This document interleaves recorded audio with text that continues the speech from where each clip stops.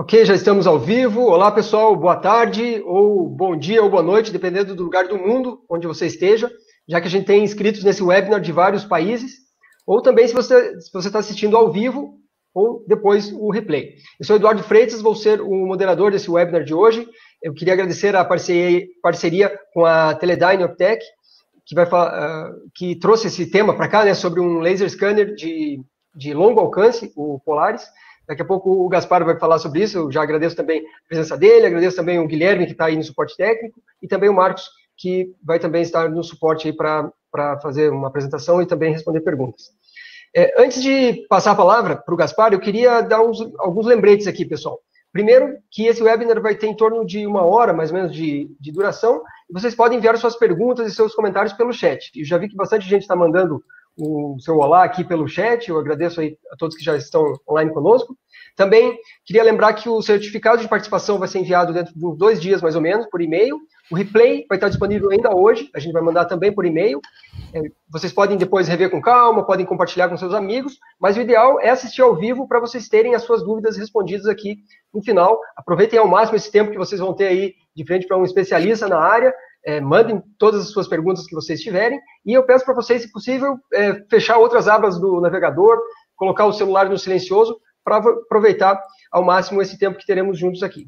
Então, acho que era isso, pessoal. Quem puder também, é, é, eu vou passar o link no chat. Se vocês puderem compartilhar o link de inscrição gratuita com seus amigos, para que novas pessoas é, possam participar aqui conosco, também é uma forma com que esse conteúdo possa chegar para mais pessoas que às vezes estão fora da nossa base de dados, estão aí fora do nosso, do nosso radar. Beleza? Então, acho que eu já falei demais. Vou passar a palavra agora para o Gaspar. Bem-vindo, Gaspar.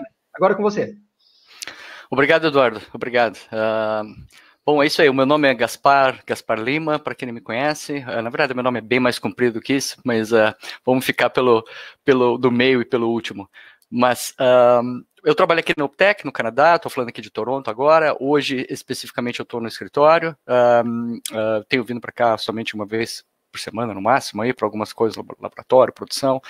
Uh, tem ainda um, um, mínimo de pessoal aqui, uh, mas aqui no Canadá, assim como, como em todas as partes do mundo, está né, todo mundo trabalhando de casa ou tentando manter a distância social para para que a gente possa conter né, o, o Covid-19. Bom, um, rápida, ah, uma rápida introdução aqui. Uh, eu, vou, eu vou falar hoje, nós vamos conversar aí sobre, sobre o uso de um laser scanner de longo alcance. Uh, o mercado de laser scanner no Brasil é, é bastante bom. A gente sabe que tem uh, muitas empresas, prestadores de serviços no Brasil, muitas empresas que também são têm um sistema de laser scanner e, e, já incorporou o uso dos dados LiDAR no seu dia a dia em produção, no campo de mineração, petróleo e gás, né, eh, industrial um, as-built, esse tipo de coisa. Uh, mas a gente está aqui para falar hoje sobre como um, um, laser scanner de longo alcance, como um produto que foi uh, desenhado para algumas determinadas aplicações, bastante específico para, para aplicações de médio e longo alcance, pode, pode te ajudar em algumas tarefas específicas, ok? Então, vamos lá, vamos, vamos parar de lenga-lenga, como a gente fala aí no Brasil, né? É, eu, vou, eu vou abrir aqui o meu a minha apresentação, vou compartilhar minha tela com vocês. Uh, vamos ver, melhorou bastante, né? A gente está fazendo, eu conheço o Eduardo tem uns 20 anos já e é, já fiz outros webinars com ele no passado, quando eu trabalhava aí no Brasil ainda. Posso dizer, é, Eduardo e o pessoal aí do Mundo Geo, que a ferramenta melhorou muito, muito mais simples, né? Muito mais uh, eficiente, né? Sólida hoje. Bom, Legal. vamos lá então. Já, só para confirmar, a gente tá, teu áudio está perfeito, Gaspar, e também já estamos vendo aí a sua tela com uh, apresentação na tela. Que bom, joia. Bom, uh, uh, uh, aqui com a gente hoje vai estar tá, vai tá também o pessoal da Gondaline, vai estar tá o Marcos Gondaline, lá da, da Gondaline Equipamentos Topográficos. A Gondaline é o nosso representante no Brasil para essa área de terrestre, né, mobile e móvel e, e, e estático. Tá? Eu sou aqui na Teledyne eu sou o gerente de produtos para a parte terrestre aqui na Teledyne. Então eu tomo conta aqui de dois, eh, de três produtos, na verdade. Uh, um deles é o Polaris, né? O outro é o CMS, que é um equipamento desenvolvido especificamente para para mina subterrânea, né? Temos algumas unidades no Brasil também. Uh, e também agora estamos, estamos uh, vindo com um equipamento novo que vai ser lançado em alguns, alguns, alguns poucos dias aí vocês vão, vão saber, que é o CL360 para uso uh, em batimetria, tá? Para uso marinho. Bom, vamos lá, um rápido, uma rápida introdução aqui do, do, do nesse, sobre a Optec, né? A Optec está aqui no Canadá, é, nasceu aqui em 74, então já são 45 anos, uh, e a Optec só faz uh, LiDAR, tá? sempre, desde o começo, ela nasceu dentro, dentro de uma universidade aqui, chama Ryerson University, é bem próximo aqui, na verdade, né, do, do, escritório principal, que é esse que vocês veem aqui do lado direito. Né? Uh, a Optec nasceu dentro dessa universidade com um PhD, um professor Carswell, que, que, que que desenvolveu, começou essa, essa, esse projeto de laser lá, e ele saiu da universidade e, e ganhou muito investimento do governo, uh, do, ambos, do Canadá e dos Estados Unidos, investimentos da NASA, para desenvolver o LiDAR uh, de uma forma uh, profissional e, e que, que, pudesse ser incorporado como um, um um sistema de medição né, à, à, distância em vários outros sistemas. Uh, a sede, essa sede que, que, eu, que eu trabalho aqui, é a sede que está aqui desde 2000, fica em Vaughan, é, na verdade é a grande, a gente chama de grande área aqui em Toronto, né, uh, coladinho com Toronto. Nós temos um outro escritório também no Mississippi, Estados Unidos, é um escritório que cuida basicamente de, de suporte e, e, técnico e vendas nos Estados Unidos, e também toda a parte de defesa, nós temos uma linha de produtos especialmente para, para, para, para para a linha de defesa, para os governos do Canadá e Estados Unidos, então é uma linha militar que, que também fica lá nesse mesmo escritório dos Estados Unidos, ok? Nós também temos escritório na China uh, desde 2018, que tudo que faz lá é simplesmente vendas e suporte técnico para o mercado chinês, que é um mercado bastante grande. Uh, e nós temos também um escritório na Europa, né, na Holanda, uh, também de 2018, que, que trabalha junto nesse prédio junto com a Teledyne Carries. Né? A Teledyne Carries, como vocês podem ver aqui nesse, nesse adesivo aqui, né, nessa imagem, é, é, uma, é, uma outra, é uma outra companhia parte da Teledyne. A Optec, na verdade, foi incorporada pela Teledyne. A Teledyne é um grande grupo, são mais de 60 empresas. Uh, foi incorporada, é um grupo de tecnologia, né, foi comprada em 2015, né? Uh, então, nós, nós, eh, fazemos parte do grupo de, de imagem né, da, da, da Teledyne. Uh, portanto, sim, Teledyne Optec. A Teledyne Optec especificamente trabalha com vários outros sistemas de, de, de, de medição, né? Nós trabalhamos com sistemas uh, de topografia aérea, então uh, LiDARs, né, que vão em aviões para fazer mapeamento aéreo. Nós temos uh, sistemas de batimetria aérea, então um sistema com phase laser diferente, né, que tem muito mais energia, num espectro diferente, que vai num helicóptero, num avião e consegue fazer batimetria, né, para projetos bastante especiais. Uh, também temos sistemas móveis, né? Temos alguns deles aí no Brasil, tanto móveis quanto topografia aérea, né? Alguns sistemas estáticos também, claro, como eu já falei, o Polaris. Temos o Maverick, que é um sistema é um sistema móvel, né, que pode ir numa mochila, ou pode ir num, num, veículo, num carro, num barco, tá? E o Polaris, que é o que a gente vai falar hoje, que é um sistema para levantamento estático, né, baseado num tripé, certo? Então, como eu falei, a Optec faz LiDAR. Quero deixar uma perguntinha aí para vocês, já para a gente aquecer nesse começo. Uh, se você uh, faz uso de sistemas laser scanner, né? Se você tem um sistema laser scanner ou faz uso desse laser scanner, comenta aí no chat qual é a aplicação qual que é a aplicação que você usa ele, tá? Se você está na área de mineração, se você está na área de, uh, ah, eu faço cálculo de volume de pilha, ou eu faço cálculo de volume para movimentação de terra, né? Ou eu faço trabalho com uh, underground, com, com mina subterrânea, ou então eu faço as-built, né, industrial, ou então arquitetura, indoor, né, levantamentos uh, internos, tá? enfim, comenta aí no, no, chat qual aplicação que você trabalha, para que a gente possa, possa direcionar um pouco mais esse webinar também, né? e fazer uma coisa personalizada para vocês. Um, o Polaris, então, a gente está falando do Polaris, nós, no, no, nós uh, dizemos que o Polaris é um scanner para todas as aplicações, né? Nós temos, é um scanner que foi desenvolvido com a, a, a, a, mente, a ideia uh, para topografia, Né? Então, é um equipamento que a curva de aprendizagem dele, para quem é topógrafo, para quem está acostumado com estações totais, com a metodologia de fazer uma, uma, uma como a gente chama, visada atrás, uma mirada ré, né? Uh, fazer, uh, uh, iniciar o seu, o seu levantamento com uma recessão, por exemplo, você não sabe onde você está, não conheço a minha coordenada, mas eu tenho três pontos, né? O sistema calcula essa, essa coordenada por uma triangulação inversa, vai te dizer os resultados na tela, vai dar a acurácia da, da, da, do, do, posicionamento que ele encontrou com a, com a, com a, com a ré, com a, com a leitura do, de um alvo na ré, ele calcula o centroide desse alvo, te dá os resultados em tempo real.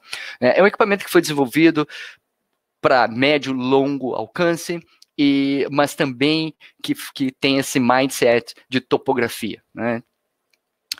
Uh, como eu falei no começo, a Optec, mais de 45 anos hoje, um, o, o, o, Polaris ele, ele, produz dados com altíssima precisão, então a gente está falando, e nós vamos comentar sobre no próximo slide sobre esses valores, mas a gente tem a precisão do Polaris de alcance, no alcance de 5 milímetros, né, então é um, é um equipamento que é classificado como survey grade, né, é, claro, é bastante fácil, ele vem com adaptador para uma um, base nivelante, né, comum, que a gente está acostumado a usar como uma estação como estação total, ou com, com, com um adaptador para uma antena GPS. Né? Então, é um sistema que pode ser incorporado em qualquer base universal, base nivelante universal.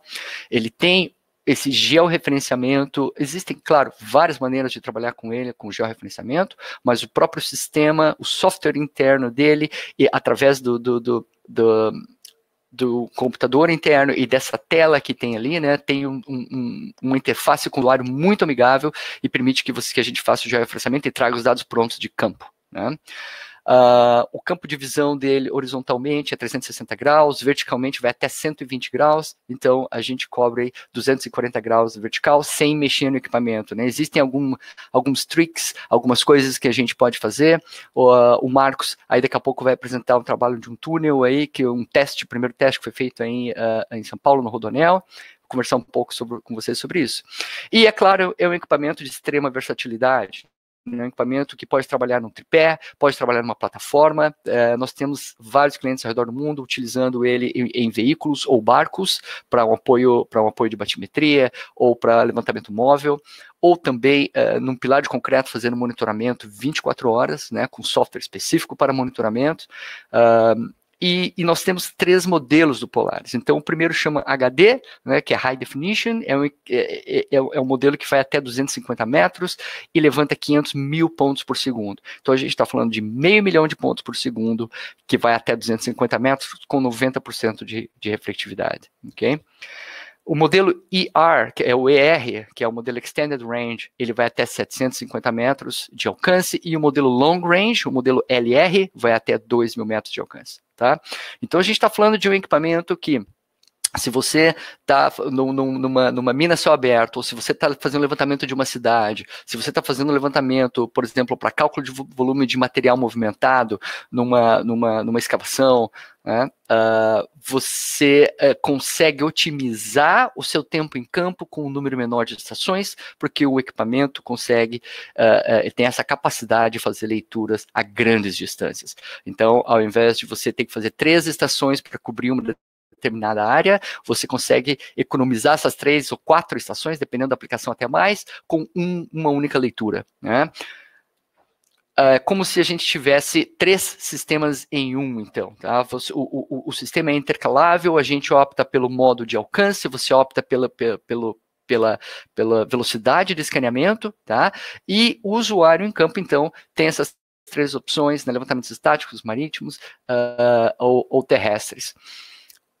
Como eu falei anteriormente, é um esquema, é, é um equipamento que me permite 5 milímetros de acurácia no alcance, é um equipamento que tem uma resolução altíssima, a gente está falando de até 2 milímetros em 100 metros. Essa é uma das resoluções, resoluções mais altas do mercado. Quando eu falo em resolução, a gente está falando da distância entre pontos, a capacidade do equipamento de botar um pontinho do, ao lado do outro, né?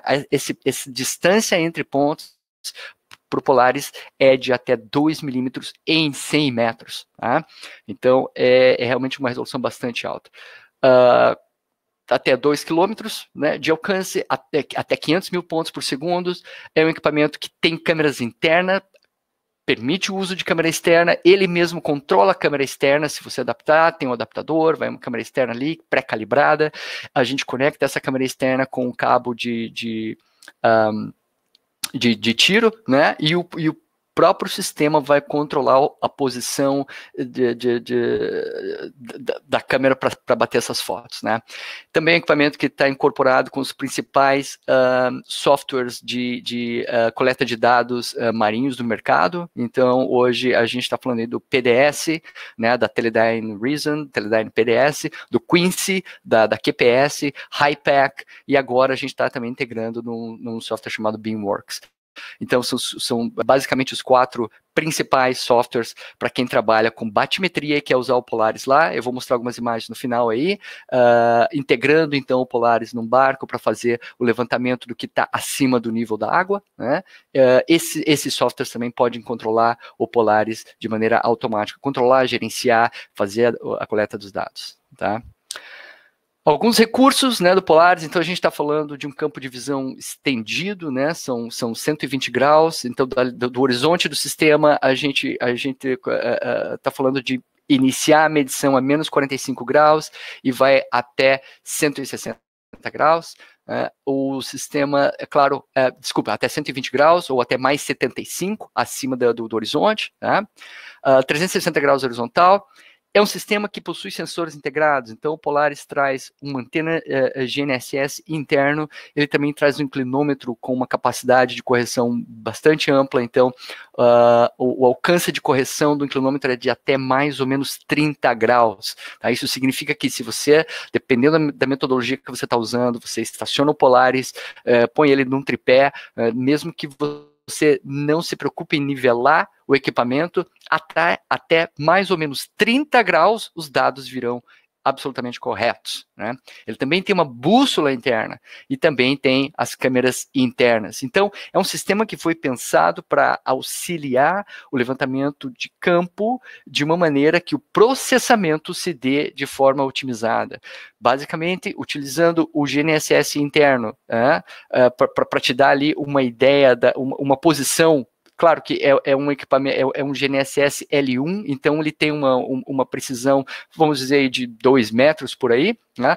Esse GNS inter, GNSS interno, essa antena GPS interna, não é para georreferenciamento, ele é para ajudar no alinhamento. Né? Então, quando você tem grandes projetos, você tem lá 30, 40, 80, 150 estações, se cada estação dessa vem com a posição mais ou menos correta e vem com a orientação da bússola eh, quase é, é, correta também, o software de pós-processamento, tudo que ele tem que fazer é encontrar a geometria né, que se encaixe, então, por, por, por ICP ou por uh, o que a gente chama de cloud to cloud, né, desde, que você, desde que você tenha uh, sobreposição nessas cenas. O, o, software vai fazer esse alinhamento completamente automático, vai fazer o alinhamento final automático e você pode georreferenciar de várias maneiras. Então, se, uh, claro, a gente precisa ter um georreferenciamento acurado também. Você pode ter algumas posições com, com uma posição RTK, ou com estacionar o Polaris em cima de um ponto conhecido no chão, ou fazer, para algumas dessas estações, fazer uma mirada ré e, e, e fazer uma visada ré e coletar uh, esta, essa orientação com precisão de campo. Né? Então, imagine que você está fazendo um trabalho grande e você tem, eh, não sei, 50 estações num dia e a tua primeira estação, ela está já referenciada, aí você tem várias estações que você simplesmente estaciona o tripé de qualquer jeito, coleta os dados, porque você sabe que o equipamento vai compensar até 30 graus inclinação, mais ou menos 30 graus, e aí você vai fazendo algumas estações livres, e depois você para, faz uma recessão, faz outras estações sem nenhuma referência, para, lá pela décima estação você faz uma outra, é, é, utilizando o alvo, faz uma outra visada ré, então você tem no final do dia, vamos supor, 50 estações ou 80 estações, e você tem, eu não sei, 10 estações por exemplo, que tem algum tipo de referência com relação à coordenada do projeto. E essas estações é que vão fazer, então, o, o suporte para o georreferenciamento, né? E todas as outras estações vão estar conectadas pela, pela geometria. É claro que isso demanda uma e isso é para uma aplicação, a maioria das aplicações hoje em dia nós sabemos é mais fácil você fazer um levantamento 360 graus do que direcionar algum, algum determinado campo de visão horizontal, é mais rápido você você simplesmente apertar um botão scan e já está tudo preset, é, pré-selecionado pré, pré e o equipamento vai fazer aquele levantamento. Então, desde que você tenha um mínimo de 20% de sobreposição entre as cenas e uma geometria razoável né, no ambiente, uh, o equipamento é absolutamente, o software é absolutamente capaz de providenciar esse alinhamento uh, de uma maneira automática e muito precisa. Tá? O sistema também traz uma interface com o usuário, como eu mostrei na imagem anterior, é um, é, é um display bastante grande, que é a prova de luz do sol, ele tem um toque resistivo, você pode usar com luvas, né? Uh, é um equipamento, então, que, que conversa com você por, um, por, por, uma interface de usuário muito fácil, muito simples de fazer. Né? Esse é, é, é, é, de longe é o, é o nosso, nosso melhor, uh, a nossa melhor propaganda é a interface com o usuário. Já está em português, né? tem é, é, é multilinguagem, tem, temos várias línguas, incluindo o português brasileiro, tá bem? Planejamento de projeto, vou falar sobre isso no próximo slide ou no outro, mas basicamente é um, é um, é um módulo do software que permite que você faça o planejamento de todo o seu projeto antes de ir para o campo. Tá? E outro, outro dado importante é, é que o Polaris, como foi desenhado, como ele foi desenvolvido para aplicações de mineração, para aplicações de longo alcance, para estar tá em lugares uh, uh, uh, de difícil acesso, em ambientes que não são, não são tão favoráveis, ambientes com muita, por exemplo, nuvens de pó, com, ou, ou, com uma neblina muito densa, né, ou com uma vegetação esparsa, ou uma vegetação densa, ele foi desenvolvido para estar em ambientes duros, né, em ambientes que não são, não são amigáveis para esse tipo de equipamento. E por isso o Polaris tem essa capacidade de múltiplos retornos. Então, basicamente, a gente consegue deter os dois primeiros e os dois últimos retornos. E isso permite com que o usuário possa escolher. Então, se você, por exemplo, está trabalhando num lugar, numa, num, num, num, uma construção que tem caminhões, máquinas passando, que tem essa nuvem de pó, que tem ou, ou que tem uma neblina, ou que tem algum tipo de gás né, no ambiente, uh, ou que você tem, por exemplo, uma vegetação densa e o que você quer é o chão, né, é, é, é encontrar o, o, o, o extrair um, o piso, né, por baixo dessa folhagem ou pelo meio das árvores, né, o Polaris é o sistema que vai te ajudar a, a, a conquistar, a, a, chegar nesse produto final com a, melhor vantagem de todas. Quando a gente extrai o último pulso nessa imagem, né, a, gente tenta explicar, eu recortei essa imagem do, na verdade, do uh, da brochura do Polaris, né? Nós explicamos isso lá, essa é a única parte que está em inglês dessa apresentação, mas uh, basicamente o Polaris grava até quatro retornos, né? Mas são os dois primeiros e os dois últimos. Então você pode ter no meio de um, de um pulso, um único pulso laser viajando no espaço, né? Vamos imaginar que o primeiro retorno dele, ele, ele vai, nesse caso aqui, no, no caso desse desenho, vamos imaginar que essa nuvem de pó, você sabe quando você está num, num, num ambiente de construção ou numa mineração, né, céu aberto, é, essa nuvem de pó que sai da, da roda do caminhão é tão densa que 100% dos equipamentos de scanner laser que não tem múltiplo retorno, eles vão dar o resultado na nuvem de pó. Tá? Então, o, o que, que acontece aqui? O Polaris tem a capacidade de parte parte desse, desse pulso laser que está viajando no espaço, né, parte dele é refletido por essa nuvem de pó, mas parte do pulso laser continua viajando. E nessa nuvem de pó nós temos o primeiro retorno, e depois talvez um segundo retorno ainda na nuvem, e talvez um terceiro, um, um, segundo último retorno, vamos chamar assim, que é o que eu estou chamando de T3 aqui nessa imagem, que seria, por exemplo, um retorno que dá num cabo, ou dá numa quina, ou dá numa parte de uma folha, por exemplo, numa árvore, ou num galho, ou, num, ou num, numa parte de um tronco, de uma vegetação. E o último retorno de todos é aquele que é, é, é, efetivamente o pulso, a maior parte do, da área do, do, do, pulso laser, né, dessa. Um, eu, eu, esqueci como é que fala isso em português, do footprint do laser, né? Ele, ele efetivamente tocou uma área sólida, certo? Então, efetivamente, a gente consegue enxergar muito mais do que um sistema que te dê um único retorno, certo? Então, se você, nós temos vários casos e vocês podem contatar-nos depois, tanto a mim quanto o Marcos, nós temos aqui é, é, projetos, né? Não somente em ambiente de construção, mas também em ambiente urbano, onde você tem muitas árvores, né? Cidades como uh, a minha Curitiba aí, uh, cidades como uh, Maringá ou, N outras grandes cidades do Brasil que tem muitas árvores, né? Ou se você está num ambiente que tem muitas árvores, o que você quer é extrair o chão, né? Ou extrair, por exemplo, a fachada de um prédio que está atrás dessas árvores. O último retorno ele vai, ele vai com uma chance muito maior do que, do que os equipamentos que não têm essa capacidade, ele vai estar tá na fachada do prédio. Então, nós temos, se você tem curiosidade de conhecer isso melhor, contate-nos, a gente pode compartilhar alguns dados com você, projetos, nuvens de pontos, né, alguns casos te mostrando esse tipo de, de aplicação onde o ganho né, com múltiplo retorno é muito grande.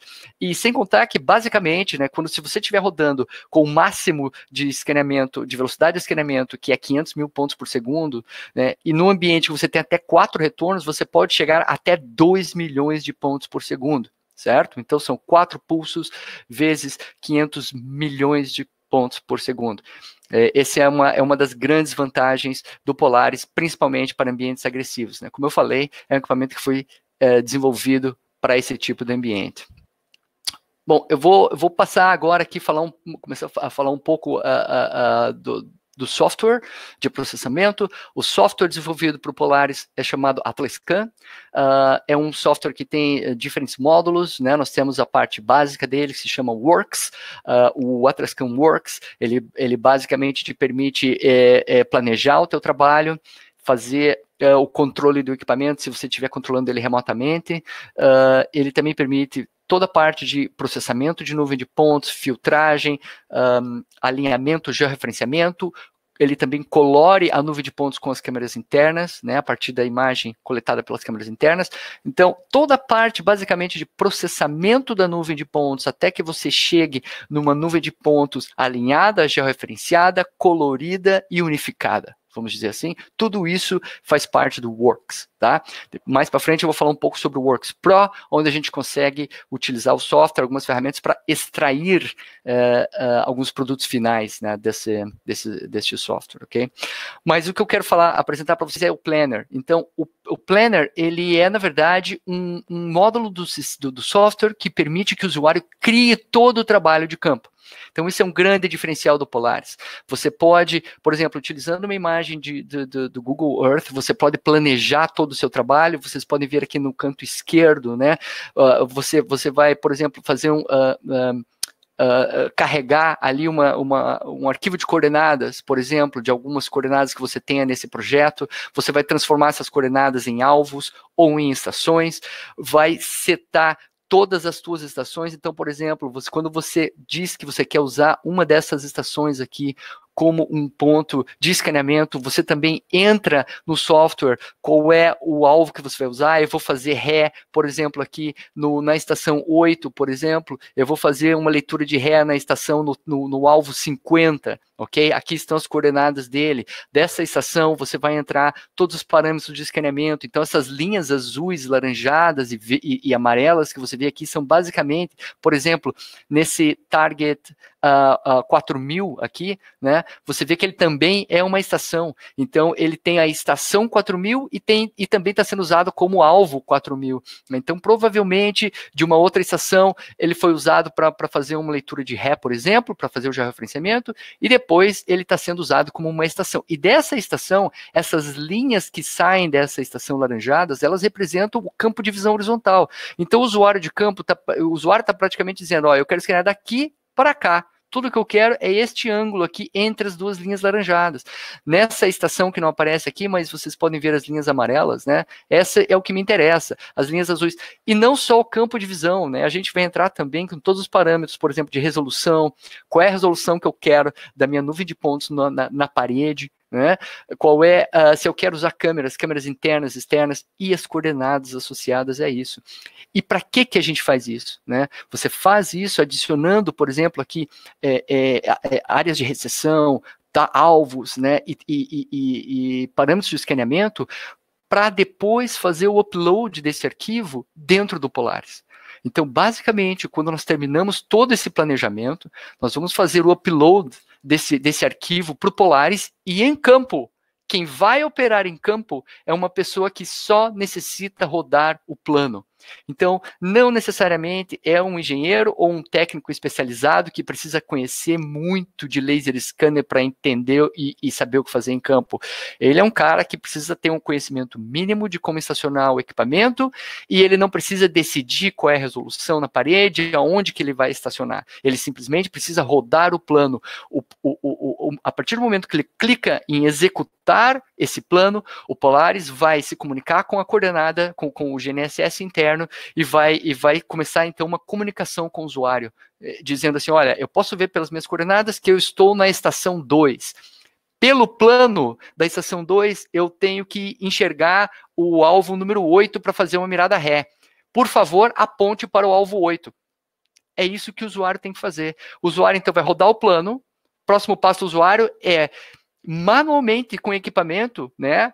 Como a gente fala, a, a, eyeball accuracy, né, pela, pela a, a precisão a olho, né, como a gente fala aí no Brasil, a olho ele vai mais ou menos orientar lá para o alvo número 8, e o Polaris, então, vai escanear com, com alguma, alguma área de, de, de, de uh, uh, alguma liberdade né, nesse campo de visão, mas ele vai procurar esse alvo, vai escanear o alvo, calcular o centroide aquele ponto, estabelecer o georreferenciamento. E a partir disso, ele simplesmente diz para o usuário, pronto para escanear. O usuário dá um ok, ele não precisa nem apontar para onde vai escanear, nem dizer como que ele quer esse escaneamento. Já está tudo no plano, já está tudo nesse, nesse arquivo de planejamento. O, o Polaris vai, apontar, vai apontar para o início do escaneamento, de acordo com aqueles parâmetros, e vai fazer o escaneamento, e no final vai dizer assim, pronto, mova para a próxima estação. É, o usuário não precisa nem seguir a sequência, porque o Polaris vai se encontrar pela coordenada, pela própria coordenada que foi usada uh, do georreferenciamento. Mesmo que o usuário faça o planejamento com coordenadas locais, internamente o software e o hardware tanto o Atlas Scan como o Polaris, eles convertem essas coordenadas para coordenadas glo globais para permitir que o, que o usuário tenha essa interface facilitada. Então, basicamente, o usuário vai carregar o equipamento em campo, estacionar, apertar dois botões, vai para o próximo, estaciona, diz, ok, é aqui que eu estou, é aqui que está o alvo, e segue, e segue escaneando. E no final, é tudo que, que a gente precisa fazer é fazer um download dos dados e os arquivos estão georreferenciados, porque o georreferenciamento, essa opção de georreferenciamento que o Polaris traz, foi utilizada em campo. Então, esse é um. Uh, outra coisa que eu, eu, costumo dizer também que ajuda muito esse planejamento é para aquelas empresas que são prestadores de serviço, é, é para fazer uma cotação. Isso ajuda demais, tá? Uh, eu, eu, no passado, trabalhando como prestador de serviço, eu fiz muito isso, abrindo o AutoCAD, escalonando uma imagem, usando símbolos para dizer onde é que era a minha estação, qual, onde é que é o meu alvo, né? Tentando calcular o número de estações, como é a distância para o alvo, puxa, qual é a distância desse prédio que eu tenho que estar para conseguir isso? Blá, blá. Aqui você tem tudo na mão, acabou, você vai ter ali quantas estações você tem, quantos alvos você precisa, você tem uma estimativa né, do tempo que você vai gastar em campo, e você pode, inclusive, usar essa imagem para botar na cotação ou não, né? Mas é uma coisa que auxilia bastante nessa, nessa hora de, de, de, de pré-contrato, né? Uh, auxiliar aí com a cotação. O próximo recurso que eu quero comentar com vocês, o Otrascan é um software bastante, bastante completo, mas algumas coisas que valem a pena, né? É o registro cloud to cloud, é o que eu comecei a falar anteriormente, essa, essa, essa capacidade de fazer um alinhamento uh, sem nenhuma outra referência a não ser a própria geometria. Tá? Então, isso aqui é um estudo de caso de um levantamento na, um levantamento na Grécia, é um edifício uh, chamado aqui, o, o, projeto Edifício Flex, porque na verdade é um, é um projeto, como a gente chama, uh, uh, é um, uma construção em pré-moldados, pré-moldado, isso. É uma construção em pré-moldados, então, em, em, em artefatos pré-moldados de concreto. Né? Aqui, nesse caso, são 32 scans, você pode ver mais ou menos a carinha do software aí, você vê do lado esquerdo, aqui nessa árvore, estão os scans, cada cor nessa navegação 3D aqui, cada cor representa um scan diferente. E como você pode ver, eles estão uma bagunça. Então, esse é, esse, esse é, é, é, geralmente uh, o, como vem os dados de campo sem nenhuma referência. Então, você não usou nenhum GPS em cima do Polaris, você não estacionou num ponto conhecido, você não usou nenhum alvo em campo, você não usou nenhum alvo na parede, nenhum alvo de papelzinho por aí. Você simplesmente caminhou com Polaris, parou, escaneou, caminhou, parou, escaneou, caminhou, parou, escaneou, ok?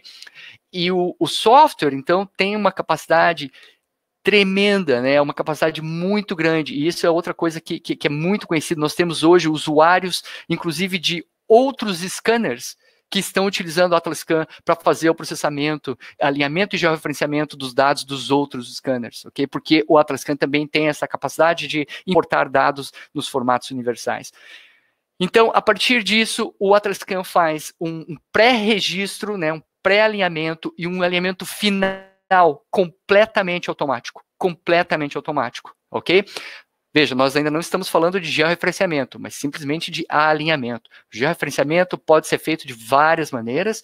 Uh, nesse caso aqui, a forma com que ele foi feita foi coletando pontos na estrutura, ok? Então, é, é, esse é o resultado do alinhamento, como vocês podem ver aqui, cada cor, como eu falei, representa um, um escaneamento, vocês podem ver esses círculos no chão aqui que representam, a, que representa né, a, a, a posição do tripé, ok? E esse é um processo 100% automático, sem nenhuma referência de campo, sem precisar carregar alvo em campo, sem precisar fazer eh, visada ré, interseção, eh, carregar bipé, tripé com alvo, botar na base nivelante, nada tá? 4 milímetros de precisão no resultado final, no alinhamento, ok? Uh, uh, somente utilizando a geometria. Então, é uma capacidade, o motor de processamento do Atlas Scan para alinhamento de, de nuvem de pontos é gigante. Tá? Um, nós temos hoje eh, uma quantidade enorme de clientes que basicamente esse, é, somente utilizam essa metodologia e depois eles fazem a georreferência de várias formas. Por exemplo, uh, nesse caso aqui, se você, se você estivesse em campo e tivesse coletado essas 32 estações, mas vamos imaginar que você tivesse aqui, por exemplo, em três dessas estações, você tivesse a coordenada de, de três delas somente, claro, com uma boa distribuição geométrica, né, eh, uma distribuição triangular, tanto horizontalmente quanto verticalmente e tal, esses dados estariam todos já referenciados. Uh, neste caso específico, a forma com que foi feito, nosso cliente ele coletou com uma estação total, enquanto estava fazendo o levantamento, ele pegou uma estação total e coletou alguns pontos na própria estrutura. Então ele foi lá num, num canto lá de um pilar, no encontro de um pilar com uma laje, né, um, um, um, encontro de três planos, né, como chamamos. Então você tem duas paredes, por exemplo, duas paredes e o teto. Ele foi lá naquele cantozinho e pegou uma coordenada. Ele foi lá num outro canto, lá do outro lado do, do, da, da área e pegou uns três pontos para lá, uns três pontos para cá, né, e simplesmente isso. A forma com que ele georreferenciou foi, então, na nuvem de pontos, criando esses pontos estatisticamente e ajustando esses pontos, né, que estão uh, até então na, na coordenada arbitrária, no, ajustando eles ao, ao sistema de, uh, de, referenciamento da obra. Né? Então, o georreferenciamento, nesse caso aqui, foi feito com uma precisão de 2, uh, se não me engano, são 2 centímetros de precisão. Tá? Uh, então, esse é o, o, que eu quero comentar sobre essa, essa esse é, poder do motor de, de, processamento do Polaris, né? O próximo slide agora, a gente vai entrar aqui num, num teste, um estudo de caso foi feito do Rodonel. Eu quero ver se o Marcos, se o Marcos está aí para apresentar isso aqui. Estou aqui. Joia, joia, então tá bom. Pode assumir, Marcos. Pessoal, boa tarde. Marcos Gondalini. Pessoal, eu tenho, posso dizer que eu tenho bastante experiência com, com laser scanner. Né? De 2005 e 2010, eu tive uma empresa de serviço de de laser scanner. Bom, eu vou apresentar a vocês aqui o nosso trabalho no Brasil. O, o Polaris já é um equipamento que está aqui no Brasil. Já aproveito e já falo que está disponível para venda e locação, para quem queira testá-lo posteriormente. E, enfim, depois a gente passa os contatos a vocês. Eu vou apresentar agora especificamente esse projeto. Eu acho que ele tem muito muito a ver com a proposta do Polaris, né? Até o nome do nosso, nosso da nossa palestra de hoje da versatilidade. Nós vamos entrar aqui um pouquinho nesse tema do, do túnel, mas antes de detalhar o túnel, eu queria mostrar um escopo geral do projeto. O nosso desafio do cliente, no caso, era levantar 44 quilômetros com duas vias, tá? E desses 44 quilômetros, 7 quilômetros são túneis e temos já acho que cerca de 5 quilômetros com obras de arte, que são pontes. E daí ele me perguntou, Marcos, como que eu faço esse trabalho? Né? E daí ele tinha até falado, ah, eu acho que eu vou usar o, o LiDAR com drone, será que é a solução que tem? Eu falei, olha, eu acho que não é o caso, gente. Aí, muito bem, só para explanar a vocês, é, o quanto importante foi o equipamento nessa, com essa capacidade que o Gaspar acabou de mostrar, porque o maior desafio de campo para quem usa laser scanner é você coletar uma boa nuvem de, de pontos que você consiga posteriormente registrá-la como foi o slide anterior do Gaspar. A grande sacada do campo é você levantar uma boa nuvem para você registrar. E, e o, o Polar está conosco desde o fim do ano passado com a gente, e realmente acho que um tema que é muito importante é a, a qualidade da nuvem de pontos desse sensor, desse LiDAR, é impressionante. Você tem um número de pontos que capta com, extrema, com extrema definição, extrema qualidade e com distâncias muito longas. É, é impressionante o resultado. Então, é, fazendo um paradoxo antes de entrar no túnel, qual que era o desafio? Ele falou, como que eu faço 44 quilômetros? Na verdade, são 88, né? Se você considerar que são duas vias com obra de arte, com túnel. Falei, cara, a gente vai ter que explorar o equipamento ao máximo. Eu vou te sugerir, nessa área externa, que você tem, que você consegue andar de carro, a gente instalar o equipamento numa, num stop and go, a gente instala, instala uma plataforma pneumática que o scanner vai ter que subir uns 5 metros acima do nível do carro. Você vai, ter, vai instalar um receptor GNSS, como você pode ver nessa imagem. Eu estou com o receptor GNSS em cima do equipamento, coletando a coordenada geográfica dele. E entre, as, entre os scans, você vai ter uma média, nós calculamos foi de 50 metros por scan, usando o stop and go. Naturalmente que o scan médio, nesse caso, a gente está considerando os 4 minutos por scan. Então, a área aberta, nós recomendamos fazer desta maneira para o pro profissional. Só para concluir aqui o túnel, depois eu, eu entro no desafio do túnel, nós conseguimos chegar num número de 120 metros cada estação dentro do túnel, que é um número super legal. E naturalmente que as, as, obras de arte, né, ou seja, como você pode ver nessa imagem, nós tínhamos que sair para baixo para poder escanear a ponte de baixo para cima. Como que faria isso sem um scan desse, capaz de medir essa distância? E aí, naturalmente, que lá fora, né, você tinha que achar uma maneira de ter nuvem de pontos da parte externa para de baixo, para você poder juntar as cenas a posteriori, sem contar com, com a coordenada da posição geodésica que nós estamos obtendo nesse caso. E ainda assim, ele tinha essa, essa característica de interesse dele, tanto da área ambiental quanto da área de, de, de vizinhança. Como você pode ver, à esquerda é uma comunidade lá. A gente conseguiu escalerizar a comunidade inteira com um scan colocado ali para frente, como vocês vão ver a seguida. Então, esse foi um, um, um, ótimo exemplo como que um sensor desse atendeu um projeto como esse, que naturalmente, se não fosse este equipamento, eu, eu era obrigado a, a revezar tecnologias, um equipamento, um equipamento só para a área interna, outro para a área externa, se eu conseguisse ter disponível, e assim foi esse case que, que caminhou super bem. Então, eu vou discutir um pouco agora o caso do, do, do túnel. Como você pode ver, esse scan foi um dos primeiros scans antes de entrar no túnel. Qual foi o primeiro desafio do túnel? Eu falei para ele, né, normalmente o pessoal de túnel, a, a, o que eles querem de deliverable, né, entrega, é os famosos underbreak overbreak. Eles querem saber se a seção do projeto com o que está no campo tem que cortar ou aterrar para você poder planejar se tem que qual operação civil a ser executada. Eu falei muito bem, mas vamos querer comparar então o túnel que está no campo hoje com o projeto. Sim. Eu falei, qual é a sua referência em campo? Quais são as suas referências topográficas de campo? Ele falou, não, não tem. Então, como você pode ver mais à frente, eu sei que a margem está um pouquinho pequena, nós colocamos três targets, tá? Exato. Nesses targets, nós fomos com o receptor GNSS anteriormente, pegamos as três coordenadas, pegamos a coordenada do, do scanner, como você pode ver, e os três targets, isso dos dois lados, dessa embocadura inicial para a final, você pode ver no fundo ali a embocadura. É um túnel de 800 metros. Então, feito isso dos dois lados, eu já fechei geometricamente, né? Eu já amarrei o levantamento dele. Então, eu tinha a minha o meu túnel, o meu levantamento perfeito, independente do, do que ele venha me mostrar a posteriori. Então, feito isso, é, vinha a questão, ele falou, olha, eu já tive que usar scanner que eu gastei dentro do túnel 20 metros cada scan. Então, faça as contas, né? Se eu tenho um túnel de 800 metros, o cara fez isso em três dias quase, para fazendo scan cada 10 metros, 15 metros lá dentro. Eu falei, olha, vamos fazer, vamos fazer o teste com vocês, eu creio que não será necessário tanto tempo de, de campo. Aí, muito bem, é, acho que não tenho nenhuma imagem da parte interna, se você puder seguir, por favor. Muito bem, olha só, essa aqui já é o, tra o trabalho meio que completo, mas a nossa, a gente fez até um pouquinho mais denso que necessário para testar o equipamento. Mas o que nós reparamos que em termos de nuvem de pontos, com scan, com scan, é que agora agora está todos somados já. Mas com dois scans internos, eu já fechei o túnel inteiro praticamente. É algo realmente muito impressionante o, o resultado que entregou o equipamento.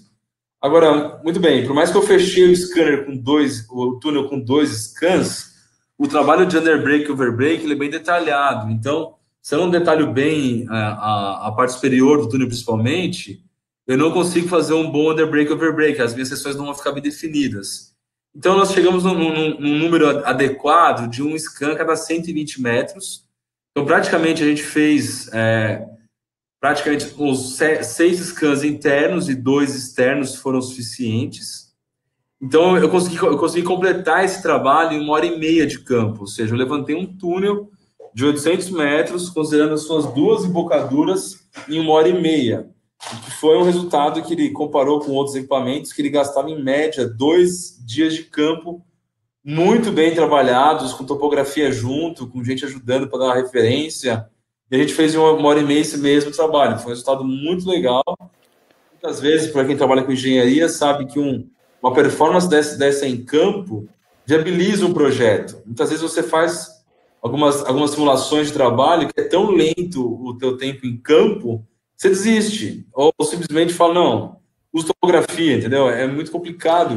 Marcos, de, de, deixa, eu só, deixa eu só fazer um adendo aqui. Importante de, é, é, esclarecer isso, né? Essa, essa esse potencial de, de, processamento de nuvem de pontos do software né, permitiu que é, é, o, o, o, vocês fizessem em campo o amarramento, a amarração com a, com a, a, a referência do sistema de coordenadas do usuário sim, simplesmente nas embocaduras do, do, túnel, correto? Então você fez uma recessão uh, na, na, entrada, outra recessão na saída e fez estação. A mim, eu, eu, sei que você fez, vocês na verdade como teste também fizeram mais do que um, um, um único tipo de metodologia, mas basicamente o que que vocês validaram foi uma recessão na, na, na, no começo, uma recessão no final e, e, estações livres no meio da. Quando eu falo estação livre, não estou me referindo à estação livre da estação total, né, que a gente conhece aí no Brasil, que na verdade é a recessão, mas eu estou falando estações sem nenhum tipo de referência dentro do, do dentro do túnel.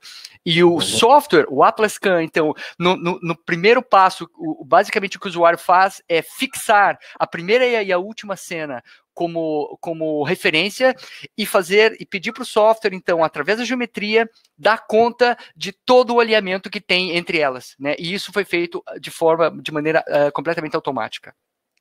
Exatamente, Gaspar. Foi, foi realmente foi impressionante o, o resultado e, e nós já fizemos, né? Eu até usei o Atlas Scan em outros casos com outros scanners e você vê que é, é lógico, o software tem um, um, grande potencial em termos de matemática, de algoritmo, mas se a nuvem de pontos não é boa, ela não é densa, o software não consegue. Você tem que ter uma. É, é as duas somadas. Sim, perfeito, perfeito. Isso é importante. De pontos, sem o bom software não vai, e o bom software sem a nuvem de pontos também não vai. Importante ressaltar aqui também que o, uh, o, o ele tem uh, workflows específicos para uh, algumas determinadas aplicações. Uma delas é infraestrutura. E dentro desse workflow de infraestrutura, nós temos uma seção para túnel. Então, o Atlas Scan é um dos únicos softwares de, de pós-processamento de nuvem de pontos que permite que você faça uma malha né, num túnel. Vocês, é, quem é usuário de, de, desse tipo de software ou, ou softwares de CAD, né, sabe que se você tentar fazer uma malha de um túnel utilizando a, a, a malha de terreno, né, que a maioria dos softwares tem, que é a TIN, né, o que vai acontecer é que o software vai conectar pontos do piso com pontos do teto e vai, ficar, vai aparecer triângulos gigantes no meio, vão aparecer nessas, essa malha vai ficar uma bagunça, né? O Atlas Scan, ele tem uma ferramenta específica para malha orgânica, né, que computa, ele, ele calcula a, a, normal de cada triângulo independente, a, direção da normal de cada triângulo de forma independente, de acordo com o ponto de origem que foi escaneado, e permite então que a gente faça nuvem de pontos de um, de um túnel ou de uma parede, por exemplo, com um ângulo invertido, tá? ou até de uma estátua, uma coisa é, absolutamente orgânica, né, uma fachada de uma casa. Nós temos projetos aí de fachada, por exemplo, que a gente escaneia a fachada, gera a malha 3D nessa fachada e extrai os polígonos automaticamente. Então, o software permite isso, também permite extração de sessões automáticas, né? Vou mostrar aí mais para frente um videozinho ou outro. Uh, esse aqui é só algumas imagens em comparação, né, Marcos? É, não, só, só para finalizar, é, aqui a gente conseguiu chegar, só para ter uma noção, tá? Nós chegamos a uma medição de 1.380 metros, tá? Então, e depois conseguimos ainda colorir no de pontos. Então é um resultado realmente, eu como disse, já usei muito scanner, é impressionante o, o, que nós obtivemos nessa, nesse momento, ok? É, legal. Mas acho legal. que era, assim, só para acabar esse projeto, acho que foi, foi super legal. O, o, equipamento também tem recurso, como o Gaspar falou, de você pôr um prisma em cima dele e referenciar ele como se fosse uma sala total. Então você tem todos os recursos nele, então essa, essa capacidade dele de você, de você é, é, integrar na sua empresa de engenharia o equipamento dos seus diferentes métodos de, de referência faz toda a diferença. É, é muito importante, até para quem já tem hoje um outro equipamento scanner ou quer comprar o seu primeiro. É isso aí, legal. Bom, aqui, só para fazer um contexto geral do Atlas Scan, a gente agora tá, lançou a versão 1.2 do Polaris, é um pacote Polaris e Atlas Scan 1.2, né? Na parte do software, a gente integrou várias novas funções e a gente também uh, uh, um, melhorou muitas das funções que já haviam lá. Então, hoje nós temos específicos, uh, workflows específicos para mineração, para infraestrutura, infraestrutura, para levantamento móveis e para monitoramento, né? Então, quando eu falo monitoramento, tanto eu estou falando tanto daquele monitoramento que a gente chama, na verdade, uh, aqui a gente chama change detection, que é, é essa você fazer um, um monitoramento uh, semanal ou, ou, uma vez por mês você vai lá naquela região e simplesmente compara né, o levantamento do mês passado com esse, você vai ver as áreas de erosão no talude, você vai ver o material da onde saiu, para onde desceu, aonde acumulou, calcular aquele volume, como também um monitoramento em tempo real. Né? Nós temos o software OPMMS, que é um software de Open Pit Monitoring Mining, Uh, que o que, que, ele faz? Ele monitora um equipamento que está então sentado lá num pilar de concreto, fazendo leitura 24 horas por dia,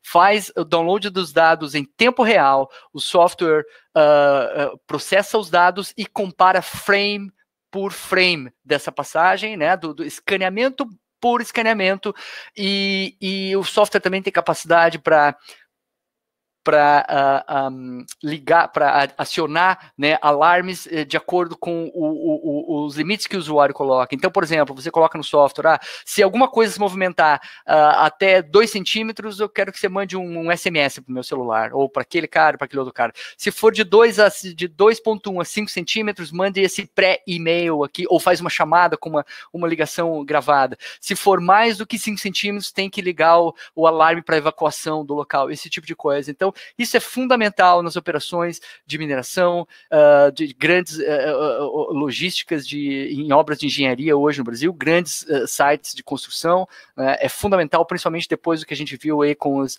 os, os, os problemas da, da, das barragens de mineração, né? Isso aqui é um, uh, permite então uma funcionalidade tremenda. É um outro, é um outro uh, workflow que também está pronto para ser usado com, com o Polaris, ok? Uh, rapidamente aqui, então, só passar, a gente já está chegando nos, nos, minutos finais, eu vou só passar ao, alguns vídeos que a gente chama de teaser vídeos, só para mostrar para vocês a cara do software, né, o que, que o software faz. Nesse, nesse momento, a gente está falando de curva de nível, é um fluxo de trabalho bem otimizado, né? É, é um, uma ferramenta bastante simples, né? Essa aqui que é então a ferramenta de extrair curvas de nível, né? O software também permite uma extração automática, por exemplo, de linhas de, de é, crista e é, é, crista, eu esqueci em português, me desculpem. Um, as bordas né, da, da, da crista de, do, dos taludes, por exemplo. Essa é uma outra ferramenta que a gente tem aqui, Uh, automática também da nuvem de pontos, ferramenta muito simples, né, nos parâmetros bastante sensíveis, mas muito simples, que faz a extração automática desses polígonos e que vai permitir que a gente exporte isso, essas, eh, essas linhas, esses polígonos, então, exportar para CAD, para Shapefile, né, também de forma uh, bastante otimizada. Né? Claro, sessões transversais, são, algumas são ferramentas que o software já faz há bastante tempo, já tem, mas nós uh, melhoramos muito essas ferramentas. Agora a gente inseriu, por exemplo, essa questão de fazer sessões transversais por alinhamento. Então você pode importar um alinhamento, ou você pode criar um alinhamento manualmente, visualizar esse alinhamento em 3D, visualizar em 2D, inserir anotações nesse, uh, nesse perfil Uh, salvar o grid, né, aquela visão de grid das imagens, e exportar também, claro, essas, essas linhas, né? Então é uma são, são, são, melhorias que a gente inseriu no software dentro do dos workflows, né? Dentro dessa ideia de ter fluxos de trabalhos específicos e pré-definidos, né? Uh, outra coisa que eu queria uh, uh, compartilhar com vocês aqui é o Quick Profile, é uma ferramenta, essa ferramenta nova também, que nada mais é do que uma ferramenta que faz um perfil automaticamente. Então, você extrai o perfil com dois pontos, isso é bastante comum, principalmente em mineração, quando o pessoal está lá fazendo né, o cálculo dos dados, fazendo alinhamento, referenciamento, começando a analisar o número de pontos, e chega alguém de outro departamento e fala, ei, ei, eu preciso de um perfil aqui rapidinho, né? Isso acontece bastante em obras também. Pedindo né, esse apoio, esse suporte para o pessoal da, da, topografia. Essa é uma outra ferramenta, e tudo isso, claro, é exportado automaticamente para AutoCAD, pode ser exportado também para como ortoimagens, pode ser exportado como imagens. Todos esses grids, eles fazem parte do, do relatório de volumes que o software proporciona, né? Existem muitas outras ferramentas também nos outros workflows, tá? Isso aqui que eu estou mostrando para vocês é parte do workflow de mineração, ok? Para fechar, eu só quero mostrar para vocês aí alguns slides do que a gente tem feito de um, de um, de um novo mercado aí que o Polaris tem, tem atendido com bastante eficiência, que é, é o mercado de levantamento marinho, né? O, ou seja, o Polaris um, adaptado num barco, uh, que também carrega um sistema de batimetria, né? Geralmente lá um, um Echo Sounder, ou um sistema multibeam, ou um sistema Doppler, né? E também, claro, todo aquela questão de, de, ter um sistema que faça compensação dos movimentos, e eh, são empresas uh, que já fazem esse tipo de serviço e que agora estão adotando um sistema de laser scanner, por exemplo, como o Polaris, para capturar os dados uh, acima da, da linha d'água também, numa, um, numa fusão de dados, né, numa única captura, num único georreferenciamento, né, numa única, uh, uh, num único dataset. Então você tem uma única nuvem de pontos mostrando o que está embaixo, o que está em cima, tem alguns exemplos aqui, né? Então por isso que a gente faz, a gente está chamando, a gente chama Polaris, né, um scanner para, para tudo em um, né? Um equipamento que pode ser utilizado para isso também somente alguns slides aqui para explicar isso, né? O Polaris, ah, então, instalado num barco, ah, com a leitura ali de 120 graus, escaneando, por exemplo, em portos ou em construções marítimas, ou, ou em costas, área de vegetação, rios, ah, levantamento de moles, monitoramento, né? O Polaris, então, que já está integrado com todos os principais softwares de aquisição de dados marinhos para batimetria, né? O mesmo software que controla o Multibeam, ou a DCP, ou o EchoSounder, ele também controla o Polaris. O Polaris está integrado, então você não precisa de um outro software, de um outro. Não, você só simplesmente senta o Polaris no barco lá na plataforma, conecta com o mesmo software e o software, então, vai, vai gerenciar o Polaris, controlar ele, fazer uh, uh, streaming, uh, o download dos dados em tempo real, processar em tempo real e te mostrar esses dados em tempo real na tela do computador também. Então você, hoje nós temos aí não só prestadores de serviços, mas também a maioria dos grandes portos do mundo trabalhando com, com o sistema de batimetria que eles têm e com o Polaris em cima do barco. A gente tem Londres, a gente tem aqui no Canadá, vários portos aqui, uh, a gente tem portos na, na, na, na Austrália, né, e, e, vários outros lugares do mundo aí, Estados Unidos também né, trabalhando assim. Esse é um, é um videozinho rápido, só mostrando o que a gente vê da tela do software. Isso aqui é levantamento em tempo real que eu fiz uh, em San Diego, na Califórnia, no último mês de outubro do ano passado. E só para mostrar para vocês os dados, então, do solo marinho aqui em rosa, nessa, nessa, coloração uh, que vem mais rosa para o azul, né, mostrando o que foi coletado com o sistema multibeam. Nesse caso, foi usado o sistema da Reason, Teledyne Reason, o sistema T50, né, com o sistema de posicionamento da Planix, o POS MV da Planix, né? E todo o sistema de compensador de, de, de movimentos e correção, e a parte, tudo que está acima da linha d'água levantado com, com o Polaris, né? Então, tudo uh, de, um, de, um, de uma única vez, né? De um único, um, numa única passada. Então, você tem essa fusão de dados né, com, com escaneamentos um, uh, de diferentes sensores, né?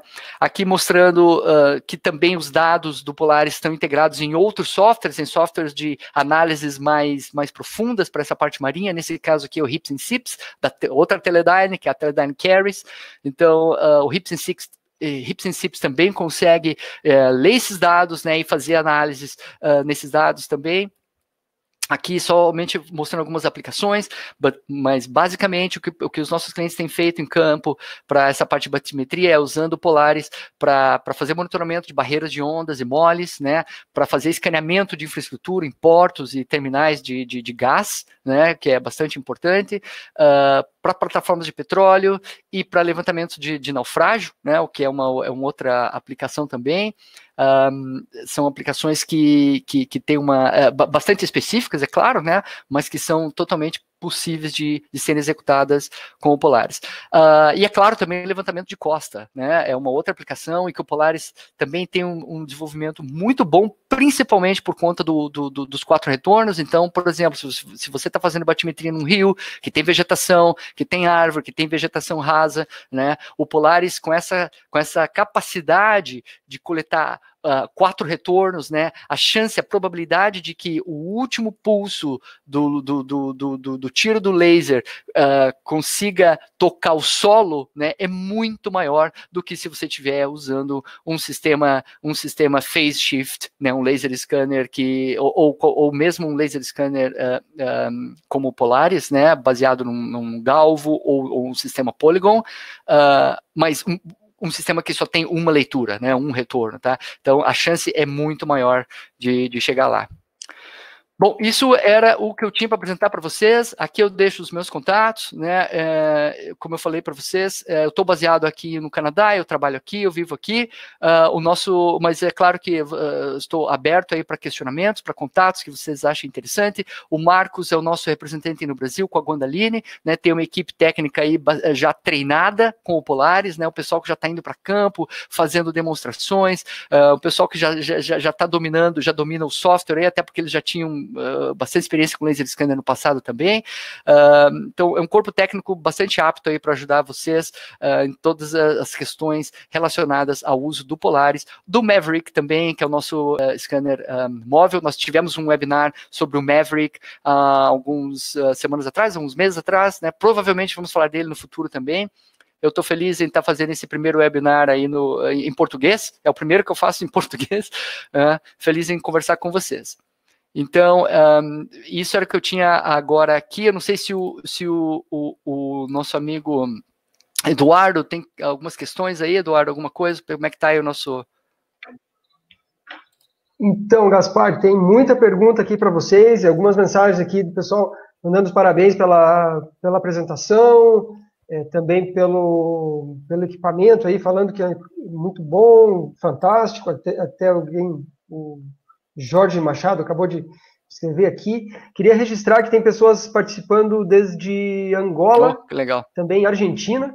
Que legal. legal né? A maioria do pessoal é, é, do Brasil mesmo, mas tem muita gente também de outros países. E quando você perguntou sobre quem, quem já está usando essa tecnologia e qual, qual área, eu tentei resumir aqui e agrupar ah, algumas respostas.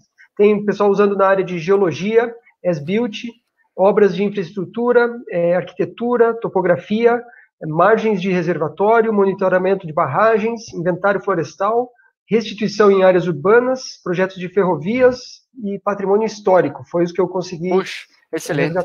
Que legal, legal, que né? legal, que legal. Vou precisar desse teu resumo aí. Manda para mim depois, Eduardo, faz favor. Beleza. que legal, aí... super legal. Isso aí, isso aí pode guiar a gente para um futuro webinar aí, a gente de repente pegar as, as áreas que tem mais uh, aplicações, né, e começar a fazer webinars específicos mostrando algumas ferramentas uh, e algumas metodologias, alguns workflows que podem responder uh, para os desafios que essas áreas têm, né, com, com laser scanner. Excelente. Uhum. Obrigado aí a todos pela participação e a, a, a, essas pessoas que responderam aí. É, eu agradeço aqui também. E o webinar que você comentou do Maverick, que é a solução laser scanner móvel, depois eu vou colocar o. Eu só vou resgatar ele aqui no, no canal e eu passo Legal. o link para o replay. Eu vou pegar as, as perguntas aqui em ordem cronológica, da mais antiga para a mais recente. Então, okay. só para a gente saber que, que tem essa, essa sequência. O Edivaldo Ramos perguntou se o Polaris possui algum filtro automático de ruído em campo causado por movimentações de pessoas ou veículos, por exemplo. O Polaris, ou não, o, o, Legal, legal. Isso é uma minha pergunta interessante.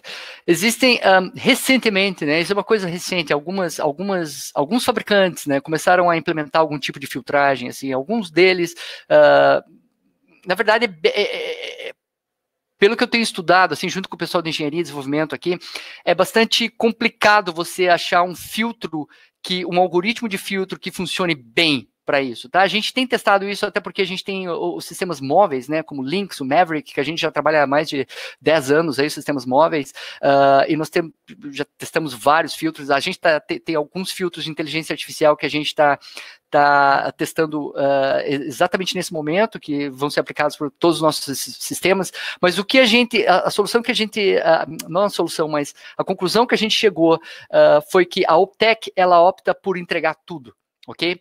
Então, não só no Polaris, não só nos sistemas baseados no tripé, mas também para o móvel, para o aéreo, para o sistema de batimetria aérea, seja o que for, nós entregamos tudo para o usuário. E no software usuário tem a opção, então, para fazer esse tipo de filtragem. Então, hoje, nós temos alguns filtros no Atlas Scan que te permitem é, identificar, por exemplo, a gente sabe quando você está escaneando uh, num tripé e passa um carro, passam pessoas movendo, né? Existem algumas linhas ali. Nós temos alguns filtros que fazem um serviço bastante bom mas não 100%. Né? Existem alguns, algumas empresas estão vindo com alguma coisa, mas o que tem no mercado hoje, basicamente, é que você necessita fazer escaneamento mais de uma vez, duas vezes, dobrar teu tempo de campo, e ainda assim os resultados não são tão acurados, né? Então, a gente tem trabalhado bastante, nós temos um departamento aqui trabalhando especificamente com inteligência artificial agora, também eh, juntamente com o pessoal da Teledyne Marine, né, a Teledyne que, que, trabalha com essa parte de, de levantamentos marinhos, uh, porque é, é, é, é, um, é um nicho bastante importante, né, para quem trabalha com batimetria, é, fazer essa, essa classificação. Então, a resposta basicamente é que nós não temos nada no sistema, todos os sistemas da tech que você que você vê, que você comprar, que você trabalhar, eles vão te entregar tudo sempre. E aí o que você tem na hora de importar, você tem a opção de aplicar um filtro, falar, não, eu não quero os quatro retornos, eu só quero o último, ou eu só quero o primeiro, ou eu quero os quatro, como seja. Tá? E depois no software, o usuário tem essa algumas alguns filtros que, que, que ele pode que ele pode fazer fazer proveito para isso, tá? Mas nada em campo. A gente não filtra nada no sistema. Tá? Claro, a gente faz filtro de ruído, a gente faz filtro né, quando o dado está saturado, né, esse tipo de coisa. Pegou uh, uh, alguma coisa que tem uma reflectividade muito alta, que cria saturação. Então, existe esse tipo de filtro, mas nada que vá eliminar dado que pode ser de interesse do usuário. Ok, okay? obrigado, Gaspar, pela resposta. Legal. É, Gaspar, eu vou pedir se você, você o que, que você prefere. É, colocar aquela última tela onde tem o teu contato e o do Marcos, ah, sim, ou, abrir, claro. ou abrir sua câmera. É, se quiser abrir a câmera também, fica bacana na, okay. na, na tela. Beleza. Isso, legal, legal. Valeu. É. Tem uma pergunta do Olavo aqui, é até que distância do scanner o alvo de ré pode estar? O Polaris, né, é, é, esse é um alvo que, que, que a gente desenvolveu para o Polaris especificamente, e a, a, distância máxima que a, gente, que a gente recomenda trabalhar é 100 metros Tá? Mesmo, claro, que o sistema tem capacidade para especificamente com esse alvo, porque ele tem materiais de alta reflectividade nele, então ele vai escanear muito mais longe do que isso. Mas o algoritmo, né, para a gente garantir a precisão na computação, na, no cálculo do centroide, né, é até 100 metros, a gente recomenda. Tá? Ok, obrigado. O Fábio de Novaes pergunta quanto tempo é o processamento de um conjunto de medições como o do edifício Flex? Esse edifício Flex, ele tomou. É bom, essa é uma pergunta interessante. Tem, tem dois pontos aí. Uh, quando esse, esse, levantamento foi feito, foi em 2017, uh, esse, levant, esse processamento todo durou como uh, uma hora e 30, uma hora e 40. Né? Esse é o primeiro ponto. 2017, claro, a gente evoluiu muito em termos de, de software, o, o, processamento, o motor de processamento, o algoritmo, o coração do algoritmo é o mesmo, mas os computadores melhoraram, certo? Dois anos atrás, uh, e, e, e o software também com ele. Mas o mais importante do que isso, sabe, Eduardo? Eu tenho, isso é uma pergunta bastante interessante. Eu tenho bastante experiência, né? Eu trabalhava aí no Brasil desenvolvendo uh, uh, o mercado para laser scanner desde 2006, uh, né? Eu fui, eu também tive a minha empresa aí prestadora de serviço a partir de 2011, antes de vir para o Canadá há, há três, quatro anos atrás. E, e eu te digo assim, ó, sinceramente, uh, eu fiz muito levantamento, bastante complexo com laser scanner, com drones, com Vant e tal. E é importante ter os dados rápidos, processamento, é importante, mas mais importante do que isso é se eu puder deixar o computador rodando e eu ir dormir ou eu ir fazer outra coisa, né? Então, eu, eu é, uma coisa que evoluiu muito, né, uh, com, o Atlas Can é que antigamente, por exemplo, para eu fazer um cloud to cloud, se eu tinha 50 cenas, eu tinha que ficar lá, abrir par de cenas. O Marcos concorda com isso, tenho certeza, já sofreu muito com isso também. Você tinha que abrir a cena 1 e a cena 2 aqui, e eu tinha que encontrar pontos homônimos. Eu, Gaspar sentar na frente do computador, gastando meu tempo, encontrando alguns pontos homônimos, sabe? Linkava todos eles, aí depois botava para rodar, né? Então eu tinha que gastar ali horas para dar, o, eh, dar esse primeiro passo né, para o algoritmo para ele conseguir fazer isso. Hoje, sinceramente, se eu fizer um levantamento de 50 estações em campo e o software me tomar 3 horas de processamento, eu não me importo, porque eu vou estar fazendo outra coisa nessas três horas. Isso para mim é o mais importante. A gente eliminou completamente a necessidade do usuário ficar na frente aqui, ó, clicando em pontinho homônimo, encontrando, ah, esse cantinho nessa cena é esse outro cantinho nessa, é esse cantinho nessa outra cena aqui, sabe? E daí você vai indo par par por par, né, entre cenas, sabe? Puxa, isso aí era uma coisa, era a coisa mais doída, né, que tinha. Então, uh, é, é, é, relativamente rápido, essas 32 cenas, nós temos o projeto, aí uh, uh, eu, fi, eu reprocessei ele para um treinamento umas semanas atrás, ele me tomou como, eu acho que foram uns 30 minutos agora, tá, no meu computador, que é um laptop, não é um, não é, eu estou rodando agora, aqui falando com vocês de um laptop, não é nenhuma workstation. Uh, tomou por aí 28, 30 minutos para o elemento final de 4 milímetros de precisão.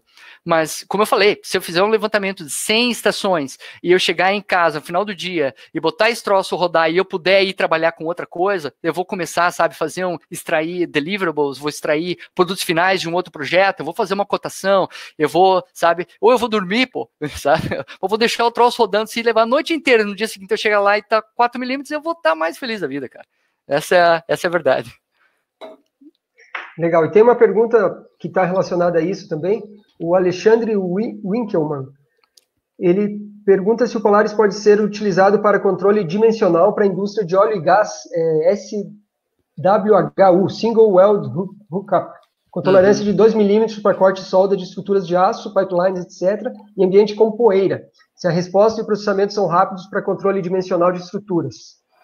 Então, vamos lá o Polaris, eh, no que se refere ao ambiente, né, ao, ao, ao ambiente que ele se encontra, ele foi desenvolvido para isso, ele foi desenvolvido para estar, tá, né, é engraçado, se você, uh, até estava comentando isso com o nosso time de vendas aqui no, no, no, numa reunião que a gente teve aí uns meses atrás, antes dessa loucura do coronavírus, né, a gente vê, se você vai no LinkedIn, se você vai no YouTube, né, a gente vê assim, um, a maioria das nuvens, a maioria dos, dos, dos um, a gente chama fly-through, né, esses videozinhos, os vídeos que o pessoal posta, tal, aí legal, as animações, as malhas 3D, é tudo, são todos ambientes super legais, né? Você vai lá, você vê ah, o cara, né, numa indústria, mas ele tá indoor, ou ele tá lá numa praça bonita, né? Eu, eu comecei a buscar alguns dados assim para mostrar para o pessoal de vendas que não tem, cara. O Polaris não tem dados num lugar bonitinho. É só pauleira. É um cara lá a 4.500 metros acima do nível do mar escaneando nos Alpes suíços, o outro tá, sabe, com, com, na água levando splash de onda, né, no barco, sabe? O, o outro tá, o cara tá no meio de, de uma mina céu aberto, que, é, que a gente sabe aí no Brasil, eu passei por isso, 40 graus na sombra, suando, derretendo em cima do equipamento, e o equipamento tá lá. Então, ele foi feito para esse ambiente. Então, em relação à proteção, é, não, é, de estar tá num ambiente com pó ou num ambiente né, quente ou mais frio, é, isso aí não é problema. Ah, em relação à precisão, sim, é, um, é uma limitação. O sistema, ele, o, o, o máximo, ou não, não, não vou falar o máximo, mas a precisão nominal dele de alcance é de 5 milímetros. Então, é, para mim é, é, bastante simples. Uh, tudo que você pode, qualquer aplicação que o seu resultado final pode quando a gente fala isso, a gente está falando né, numa única nuvem de pontos unificada. Se o teu resultado final na nuvem de pontos pode ser de 5 milímetros, então você pode usar o Polaris. Se, por exemplo, a, a gente fala bastante de monitoramento, né? Uh, principalmente o pessoal de barragem aí e tal. Existem aplicações que são uh, muito conhecidas com monitoramento, com estações robóticas, né, que te dão uma alta precisão, né? Então o pessoal fala assim, ah, eu posso fazer monitoramento com Polaris, que eu preciso ver, sabe, o crack lá, como é que a gente fala, craqueamento numa parede de concreto? Não, cara, não dá para fazer, porque isso é, um, é, coisa de menos de um milímetro, né? Você vai acompanhar quanto que aquela parede, aquele crack está abrindo na parede, tem que ser um craqueômetro instalado lá, né? Ou então, tudo que seja é, que vá além do precisão nominal do equipamento, uh, a gente não consegue, você não vai conseguir enxergar alguma coisa que seja menor do que do, do, do, do uh, uh, não do que os 5 milímetros, porque a posição pode ser 2 milímetros. Agora, se o que você está se referindo é assim, eu preciso de um pontinho a cada 2 milímetros, aí então o Polaris pode ser usado. A resolução dele é bastante alta para isso e, e, com ruído muitíssimo baixo. Você vai conseguir enxergar detalhes com esse nível de resolução. Mas é, é, é, é uma confusão que as pessoas tendem a fazer quando a gente fala em, em precisão e nível de detalhamento. Né? As pessoas elas, elas associam precisão com nível de detalhamento. Nível de, de, detalhamento é uma coisa, a precisão daquele ponto no espaço é outra. Né? Então, isso é uma coisa que tem que ser bastante observada antes de fazer. A, a, a, antes de, de, de é, fazer a escolha né, de qual metodologia, de qual equipamento, qual tecnologia que você vai usar. Legal, obrigado Gaspar pela resposta. Deixa eu registrar é. aqui a participação também de uma pessoa que está na Romênia e tem pessoal aqui de Portugal também é, assistindo. Então agradeço aí pela participação de vocês. E o Luiz Santos tem uma pergunta eh, que está relacionada a isso que você acabou de falar. Ele perguntou uhum. qual a resolução, a densidade da nuvem de pontos do equipamento a 300 metros e a respectiva uhum. precisão para permitir a diminuição do número de scans. A 300 metros, a máxima resolução que a gente vai conseguir com Polaris é um ponto a 6 milímetros, um ponto a cada 6 milímetros, tá? Porque a resolução mais alta do Polaris é um, é um ponto a cada 2 milímetros em 300 metros, essa distribuição é linear, então a gente propaga isso para 300 metros, a gente consegue pôr lá no máximo um ponto a cada 6 milímetros de distância. Tá? Uh, essa é a primeira parte da pergunta. A segunda é, desculpe, qual é a segunda parte? Ele perguntava a resolução, é, a densidade de pontos do equipamento a 300 metros para permitir a diminuição do número de scans. Ah, sim, com certeza. Nós temos vários casos aí, a gente até pode estudar, de repente trazer um, um estudo de caso específico para isso. Eu estava trabalhando nisso no, no, começo dessa semana, até fazendo um, uma, alguns gráficos ali, né, comparando, por exemplo, quando você tem uma área bastante grande para ser levantada, por exemplo, em, um, em, uma área de terraplanagem, onde você tem que fazer uh, cálculo de volume, né? Ou uma área de mineração a céu aberto, ou você tem que fazer levantamento geológico num paredão, alguma coisa assim, mas você também precisa da informação do piso, né? Uh, veja, se você tem. A questão é a seguinte: a gente sabe que. Uh, o, o, o, alcance de um instrumento como esse é, é todo equipamento que tem um alcance por, por, através de luz, certo? A gente está usando luz, laser é um feixe de luz. É a mesma coisa que uma estação total, ok? A questão é que a gente não está usando um prisma lá na frente. Então ele reflete na pedra, ele reflete numa fachada, ele reflete numa estrutura metálica, reflete né, no, no, no diferentes tipos de, de minérios ou fachadas.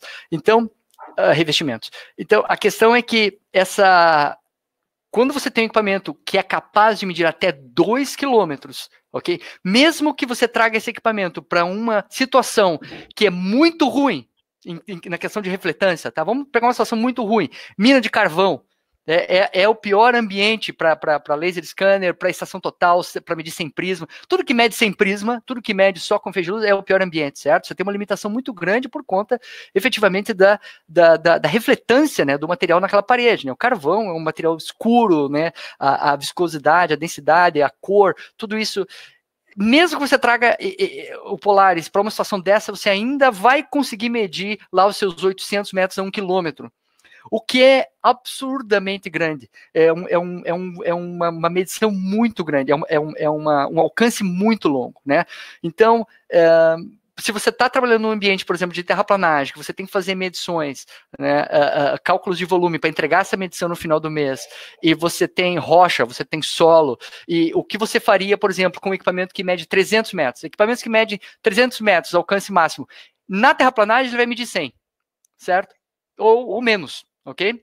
Se você pega o Polaris que mede 2 km na terraplanagem, num ambiente desse, ele vai medir 1 um km, 1 km e meio. Eu estava no Chile antes de começar tudo isso, a gente fez vários testes de, de, de, com um determinado cliente lá na região árida do Chile, no norte, lá em Antofagasta, uh, vários, vários uh, ah, um, testes de medição que a gente chegou a 1.500 metros. O Marcos, nesse teste que ele fez do túnel ali, como a gente apresentou no slide, né, posso até trazer esse slide ali de volta só para mostrar para vocês, é um é claro que é uma, é uma região. Isso aqui não é nada especial. Se você olhar aqui, isso aqui é vida real. Né? Essa medição aqui, ó, é uma medição em vida real. Isso aqui a gente não está falando, ah, é uma parede, é uma, é uma parede é, é, gigante, branca, é ou é um, um, um, como é que a gente chama aí, um, um sinal de trânsito, né? Com uma, um material que tem uma refletância muito alta. Não é. Isso aqui, isso aqui é vida real. Isso aqui é condições normais de campo, né? E a gente, até onde o sistema enxergou aqui, a gente,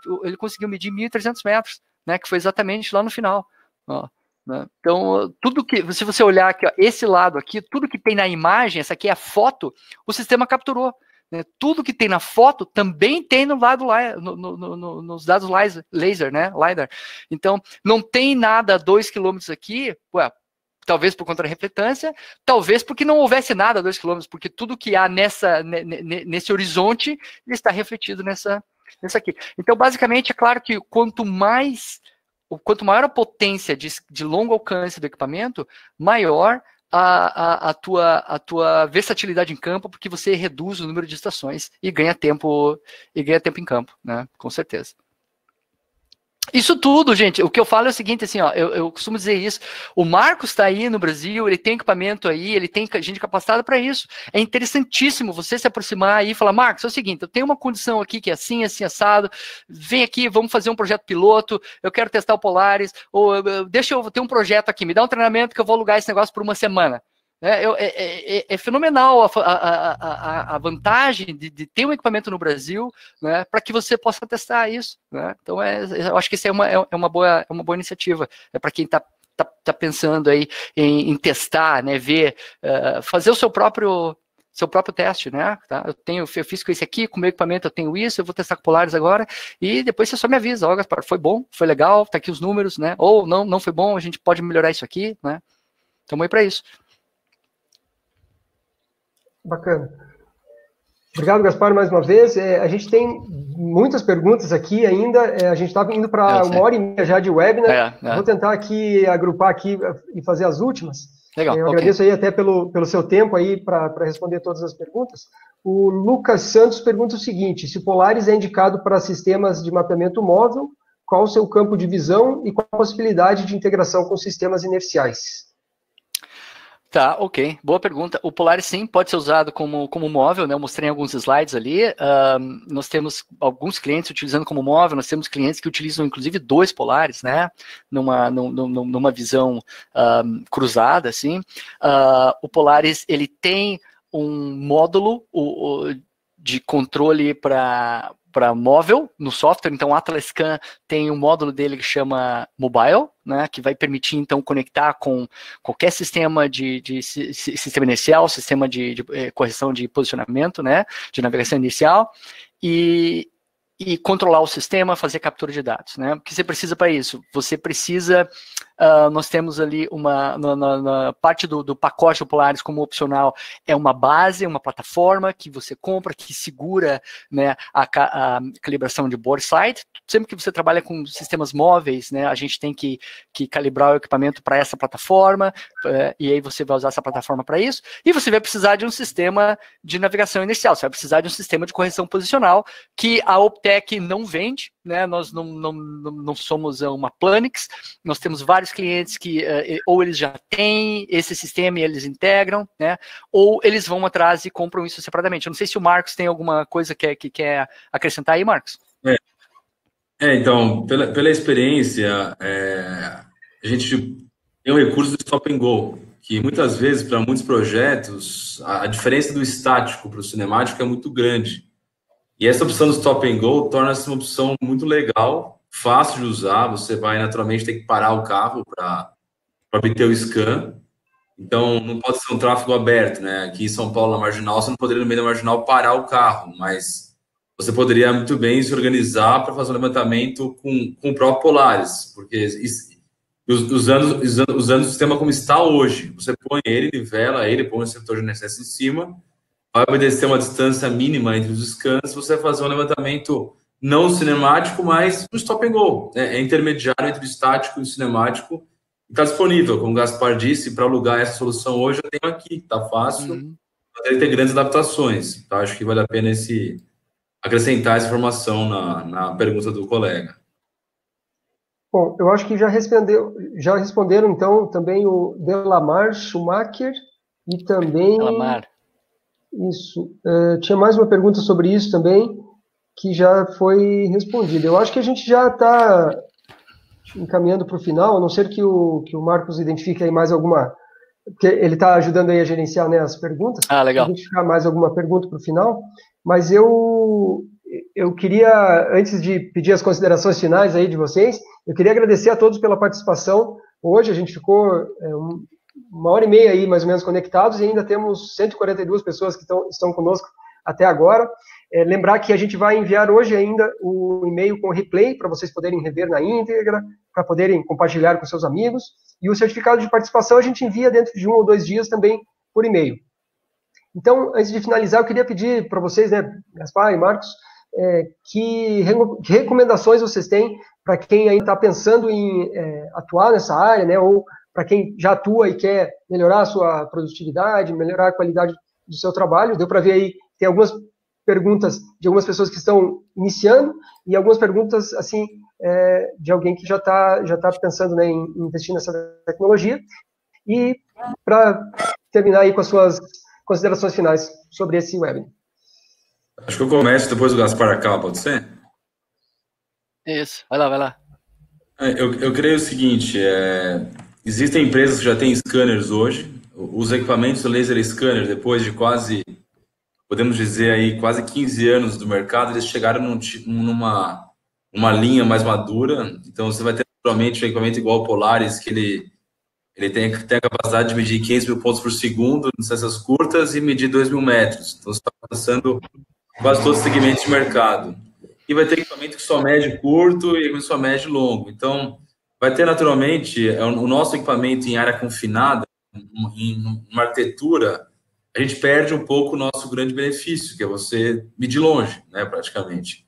Você vai acabar medindo curto porque está confinado. Então, vai acontecer, na minha opinião, que vai ter essa integração.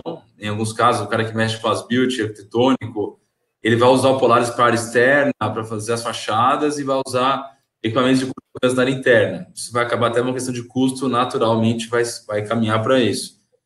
Mas e, e, o Polaris ele vai se tornar um produto claramente é, essencial para posicionamento em, em, grandes levantamentos, porque torna-se improdutivo você usar equipamentos com medições curtas em área externa. Você tem que fazer muita sessão, fica muito lento, lento posteriormente o, o escritório. E como o Gaspar disse, a gente tem o equipamento Brasil hoje para isso, para vocês testarem, para validarem, para verificar o uso. Estamos aqui disponíveis para o que for necessário. Tá? Essa, é a minha mensagem, Gaspar. Isso aí, que bom, tá bom. Eu, eu aproveitei esse tempo agora para para dar uma olhada aqui. Eu tenho um monte de mensagem no privado aqui, de pessoas que, que, que, eu conheço, pessoas que eu não conheço, enfim. Só quero agradecer, recebi bastante felicitações aqui. Uh, Uh, eu, eu, eu para finalizar, eu corroboro aí com o que o Marcos colocou. O Marcos tem, tem sido bastante presente conosco, aí viajado para os nossos, tem, tem vindo, já vem aqui para o Canadá, tem os nossos encontros aí na Alemanha. A gente tem eh, sempre da, Intergel, né, nós temos o um encontro de dealers, o Marco já, já tá, tem, tem estado presente nos últimos três ou quatro, eu acho, né, tá, tá, tá tem bastante experiência no assunto, a gente tem trabalhado junto aí uh, ah, para trazer o, o Polaris para o Brasil. Então, um, é, essa versatilidade do Polaris, eu acho que o Marcos tocou no assunto chave, é importante, né? Você tem, é como se você tivesse três equipamentos em um. Então você tem, é lógico que há limitações físicas, né, da, da, física, quando eu digo, né, em termos de medição por, por, por laser.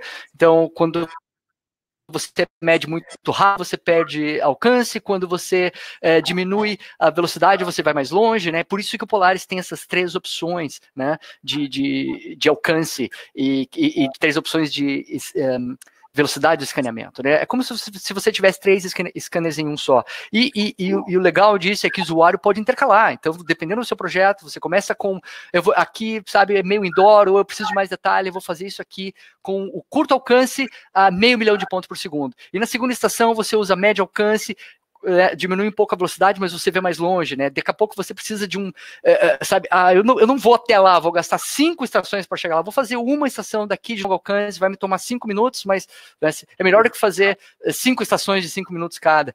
Então, essa possibilidade, né, de combinação de, dos parâmetros do escaneamento com, com alcance versus a velocidade do escaneamento é o que é o que faz dos nossos usuários uh, bastante competitivos, né? Nos projetos que eles têm, no, no, no, os contratos que eles ganham. Então, e, e a gente fica feliz por poder corroborar com isso. Para finalizar, então, eu só quero agradecer uh, a presença de todo mundo. Eu vi que são 140 e poucas pessoas estavam com a gente. Eu, eu, eu só acabei de ver agora, não sei se deu, tinha mais, mas muito obrigado pela atenção de todo mundo. A gente vai, vai continuar fazendo isso aí. Né? Uh, daqui a pouco nós teremos outros webinars, uh, talvez de algumas coisas, aplicações mais específicas. Aqui eu estou vendo tem bastante gente comentando as aplicações ainda aqui, fazendo algumas perguntas. Eu acho que a gente vai ter acesso a essas, a essas informações, né, Eduardo? E aí a gente vai responder. O Marcos vai me ajudar aí. Nós vamos estar uh, tá respondendo vocês, né? Importante vocês saberem que tem um, um brasileiro aqui que fala português, né, na fábrica. Uh, na verdade, eu não sou o único, somos dois, é interessante, os dois gerentes de produto da, da, da parte terrestre e da parte móvel aqui na Optec Canadá são brasileiros, né? O outro é a Ana Paula Kersten, que já participou aí com o Eduardo, com o César Mundo Gel, para falar do Maverick, com, com uh, o apoio aí da Gondaline também. E e, e, é importante, né? Eu acho que isso é uma, uma vantagem que, que, que o Brasil tem, né? A gente conseguir falar aí uh, diretamente, não só a mesma língua, mas a gente se entende melhor, né? Então, quero deixar as portas abertas, tá? Comuniquem comigo, vamos, a gente vai, vai o Marcos vai me ajudar aí no apoio para responder esse pessoal todo aí, e, e, vamos continuar, vamos continuar em contato, ok? Muito obrigado, eu, Eduardo, Mundo Gel, por, por, por propiciar isso aí, excelente, nota 10 aí, Eduardo, nota 10, Mundo Gel, a plataforma, tá show de bola, né? E, como sempre, um excelente trabalho de vocês aí.